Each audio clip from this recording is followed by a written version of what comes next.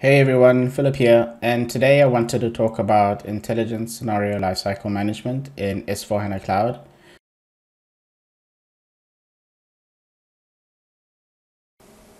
ISLM is a machine learning lifecycle management tool that allows you to train a model and use it for inference. It's available on S4HANA Cloud and on S4HANA on-premises. Let's start by navigating to the ISLM section on Fiori Launchpad and creating a new scenario in the Intelligent Scenarios app.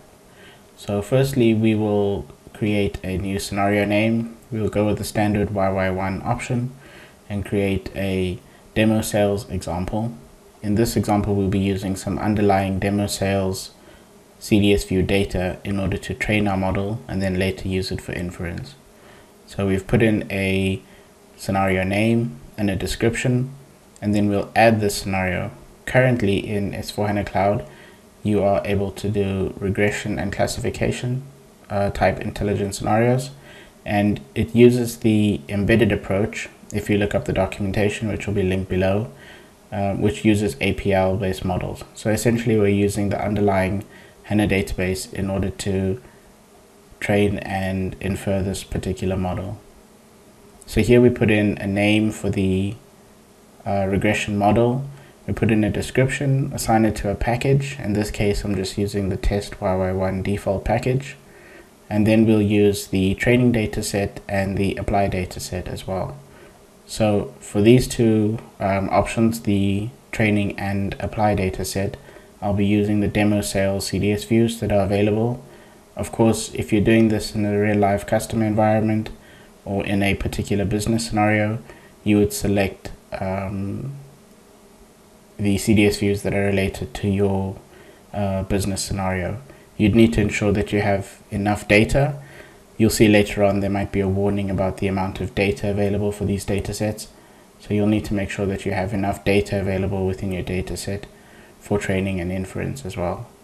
In this case, it's a demo scenario, so we'll use the demo sales uh, CDS views. And these CDS views should be available in your system to use as well.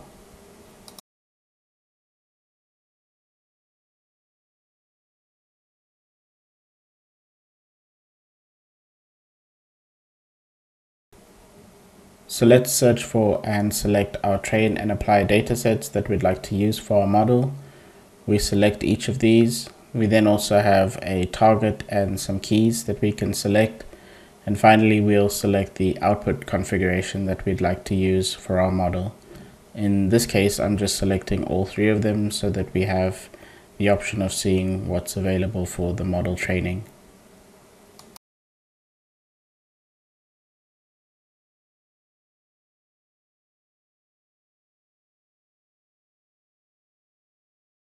Okay, let's add this regression model to our intelligent scenario.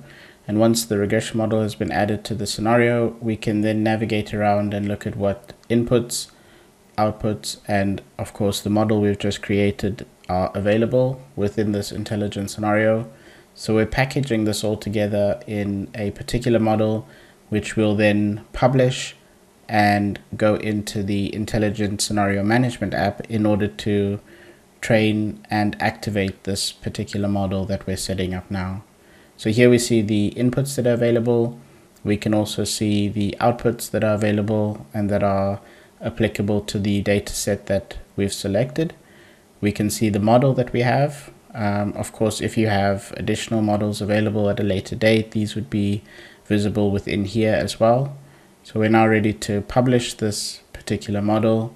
And once we've done the publish step, we can then go into the intelligent scenario management app in order to train this model and then use it for inference.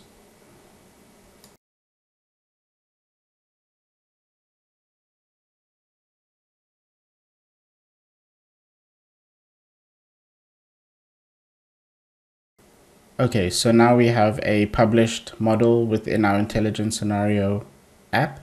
We can go into this uh, model and have a look again at some of the settings. We can do a quick refresh of the settings before we then go back out of the intelligent scenarios app and into the intelligent scenario management app in order to train this model.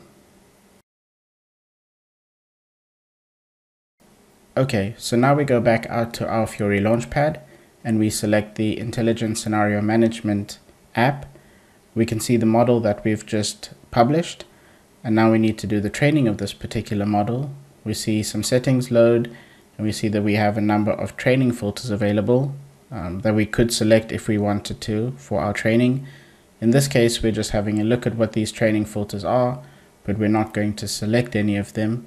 Um, we can then close up the training filters option and select train in order to train this particular model.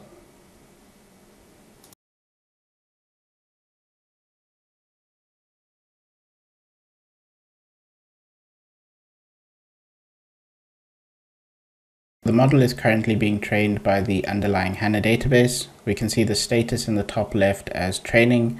We can see what the wait time was before the training began to execute. And once the training has taken place and completed, we should see a status of ready, which then means our model is available to be activated and used for inference. So if we go out and in again a couple of times, eventually, okay, we'll see that the status has now changed to ready. So in the quality information tab, we can see we have a few key metrics available. We have a quality metric of about four and a half stars. We have prediction power, prediction confidence, and then lower down in the debrief section, we can see some of what the key influences are for this particular model. So this just gives us some information about how good the model is in terms of the training that's just taken place. Now that we have a trained model within the Intelligent Scenario Management app, we need to go back into the previous screen and we see that we have the activate option in order to activate this particular model. That's the last step that we need to cover off before we're able to use this particular model for inference. So let's again select the model with the radio button on the left hand side and then select the model for activation and the model is then activated after some time and it's now available to be used for inference. Go back into the particular model in the Intelligent Scenario Management app we can see for this model that the status is currently activating. After some time we should see that status change to active and now our model is finally available for inference in an upcoming video, I'd like to show how we could use a communication scenario in order to leverage this trained model and possibly call this model from an external API if we so choose to.